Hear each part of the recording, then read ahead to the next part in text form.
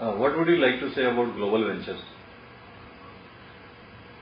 As far as Panacea Biotec is concerned, our focus in the next five years is going to be uh, definitely developed markets, but majority of the focus will be in domestic market in India as well as uh, the emerging markets, that is the developing world.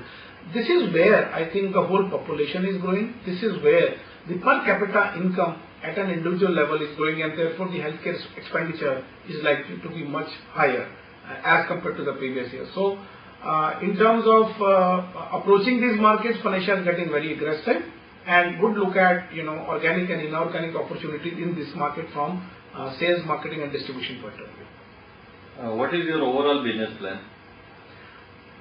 In our overall business plan, we are looking at almost, if you if you see our uh, last 10 years record, which actually shows how sustainable the business planning and growth in a company is, you would find that we are growing on an average 25% compounded annual growth rate.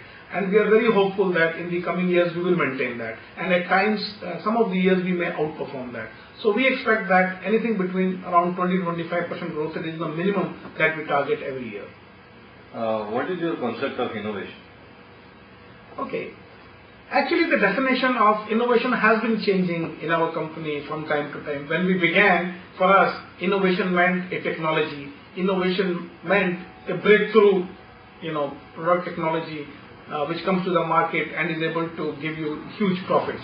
While that is still true, but I think over the last 15 to 20 years, we have learned that it's not only product dependent technology breakthroughs, high level interventions, but also molecule independent differentiation, which is also a part of innovation.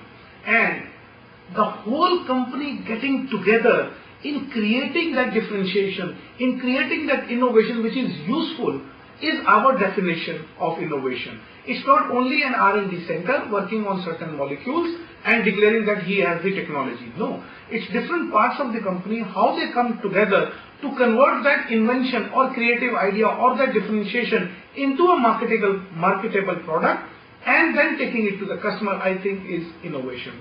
However, we have also learned that it's not the labs and R&D centers which actually tell you what to improve, what to differentiate, but customer back thinking, that is end back thinking.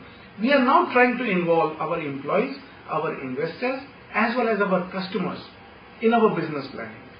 And since we particularly felt that this was true for any pharmaceutical company or biotech company, everybody in today's world involves customers, employees, as well as investors.